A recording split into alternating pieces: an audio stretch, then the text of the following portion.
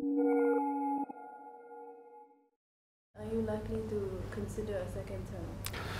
Um, four years ago, back in June, sorry, five years ago, back in June 2011, uh, I had not made, make up my mind. So four years later now, um, June 2016, uh, I have not made up my mind. Uh, still plenty of time. Uh, yes, I, I enjoyed. I enjoy my work every day in the past uh, four years, despite the, uh, the challenges. and these are serious challenges.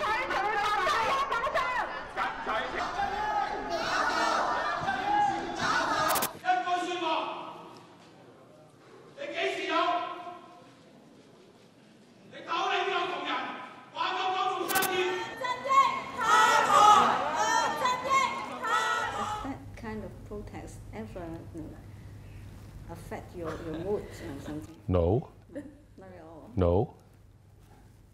Um, and I don't expect um, political leaders in other jurisdictions um, being affected by um, um, what's written on placards uh, held by the crowds in demonstrations. Do you think that because of your job, that your family, people, your family members, your relatives, they're also suffering?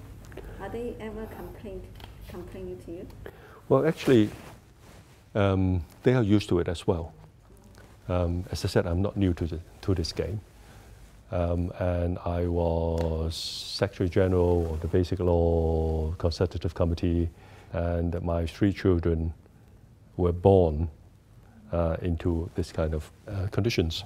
They never asked you to step down because of the unfair pressure? Oh no, like oh, no, not, not, not at all, not at all. Not, not, um, not even during the time when we used Government House uh, as basically uh, our um, command center uh, during the Occupy Central uh, movement.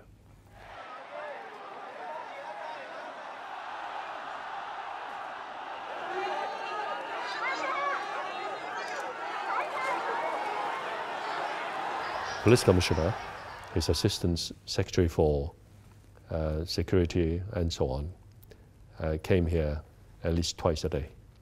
We had executive council meeting here, we had our daily prayer uh, meeting here, we had senior officials meeting here. And it was like a market, um, crowded, sometimes uh, noisy, and our bedrooms are just upstairs.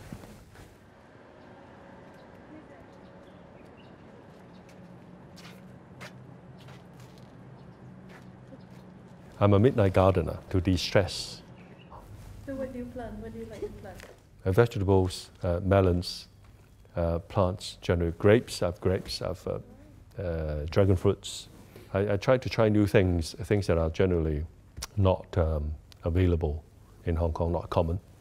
They're all doing quite well.